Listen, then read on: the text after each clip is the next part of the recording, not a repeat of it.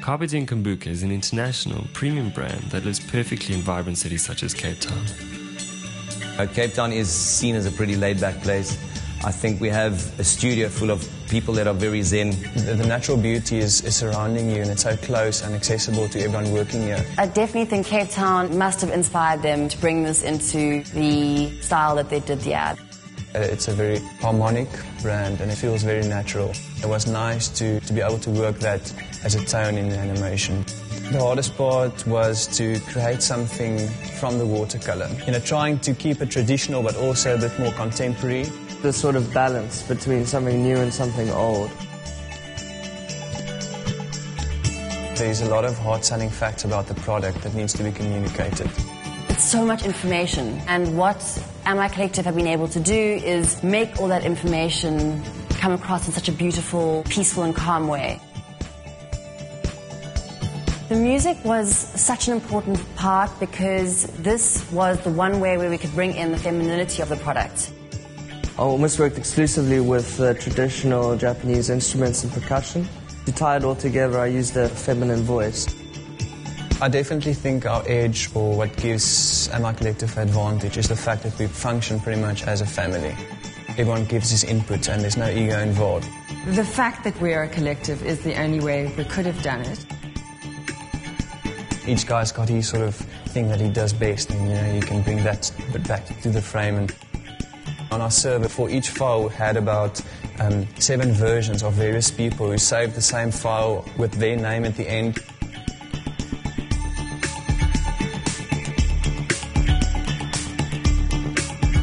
It was an explorative mission that we were asked to do, and it's something that we love.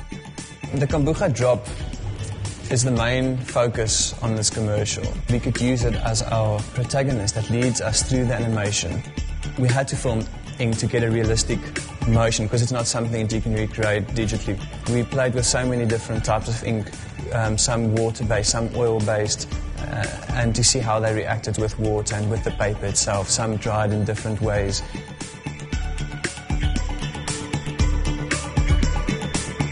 The way the ink moves happens by chance. It happens very organically. You can't plan it. There's a lot of luck with with how things works at the end. And we were just amazed with how some of the ink looked when it dried.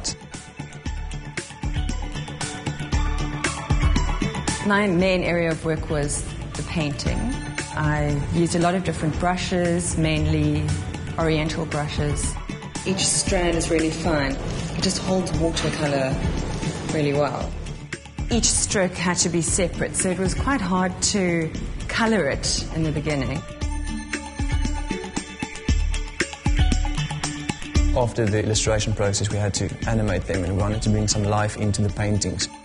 It's kind of magical seeing something that's usually static becoming this different world. Some scenes were more 3D intensive, some were more 2D intensive. We then had all these different layers that we almost needed to compose together in a final composition.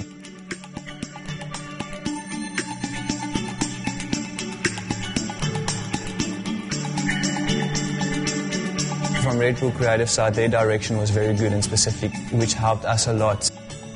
What they have delivered is more than we could have asked for. We had no idea that this ad could be this beautiful. Everything is exquisite and it builds this amazing natural organic world all in this drop and lands in the bottle and in a way Carpe Diem now holds that world and it's up to the viewer then to drink it.